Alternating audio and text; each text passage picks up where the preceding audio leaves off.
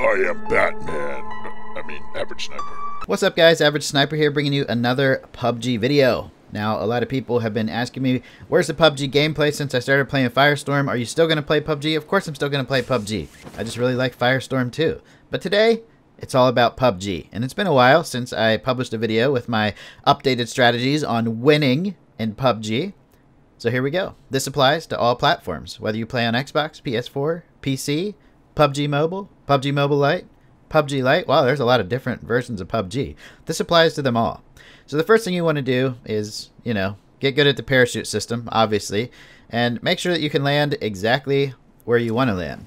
Once you land, the most important thing is that you find a good weapon and uh, gear, medical supplies, and that's about it. As long as you can heal yourself, shoot people, and you have body armor and a helmet, that's pretty much all you need. I recommend an assault rifle as your primary, and a long range weapon like a sniper rifle as your secondary. But you might have to start out with something a little different when you first drop because it's complete RNG. It just depends on what you find. But that is definitely the goal to get that bolt action sniper rifle or a DMR, anything that can do long range with just a couple shots, and that assault rifle for close to medium range.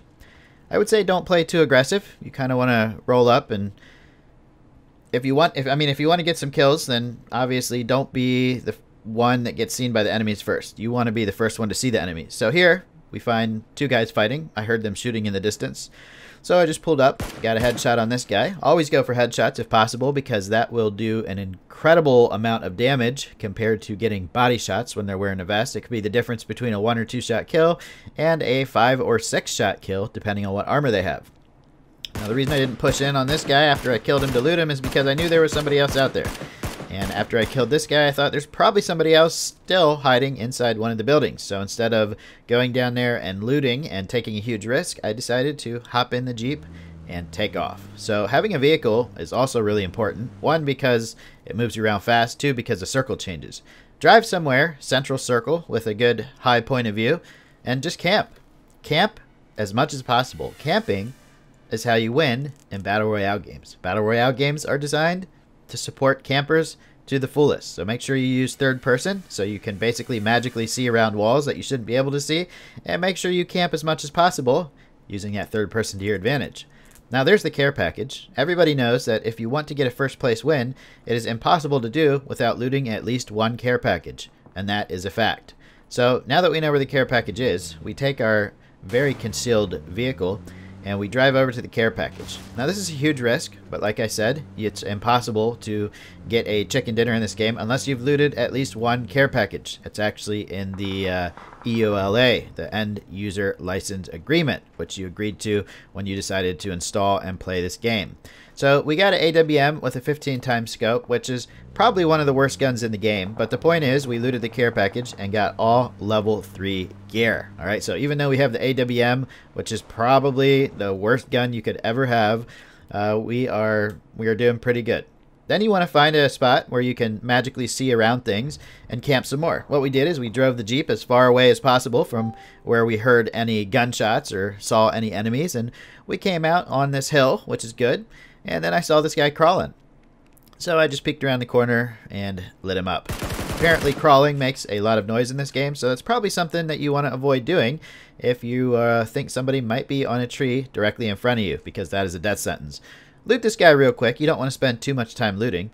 But then, as soon as you get done looting, you definitely want to relocate into the zone. At this point, there's only 8 people alive, so I decided I don't need my vehicle. I'll just run through this open field and hope nobody sees me. But that doesn't always work out. As you can see, I just got shot in my butt. But I can see it's this guy that did it. And he made a mistake because he shot me, but he kind of has to run straight towards me. So I take a couple well-aimed shot with the AW, couple well-aimed shots with the AWM, worst gun in the game, and I get some misses. But then I see this guy down here. He must have been really wounded because the AWM takes him out of one shot. Then this guy that has to push towards me gets shredded with the assault rifle. Now you see why I like to have a long distance gun, aka bolt action sniper rifle, and an assault rifle. This is definitely the key to winning. So now that we've got 5 kills, we've looted a care package, and we have level 3 gear, our victory is pretty much assured. Now you can see there's only 4 people left, which means there's only 3 enemies left in this zone. We have 2 med kits, first aid kits, tons of boosts, we're probably not even going to need them because we're definitely the most equipped people in the zone except for this crappy AWM sniper rifle that we have. I took a shot at that guy, it hit him, but it didn't kill him, mostly due to the low damage on the AWM sniper rifle. Alright, so now we just have to camp some more. We know where this guy is, and we just want to make sure that we can use our magical third person peek to make sure we can see him, but he can't see us. Also scan the surrounding areas with your sniper rifle 15 times scope to see if there's anyone else alive. You also can't win the game unless you have a 15 times scope. That is also part of the EULA. So make sure you equip that 15 times scope from a care package to get the final win. Now this guy somehow managed to see where we were, threw a grenade, so now it's all out war. The zone is pushing, it's time to move. You definitely don't want to get caught in that blue zone. We hit him again with the AWM, but it does nothing because it's a crappy gun.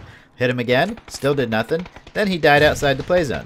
Then this guy died outside the play zone. Keep in mind there was only three people, so that's two out of three that just died in the play zone. Then we see the last guy over here. Aim in on him, and he takes a flying headbang into the ground, and also dies outside the play zone. And that is how you win. Make sure you loot a care package, get good gear, and let the last three guys die in the play zone in the final circle, and you are guaranteed victory every single time. I hope this helps you guys get more chicken dinners. Like and subscribe if you enjoyed. Later.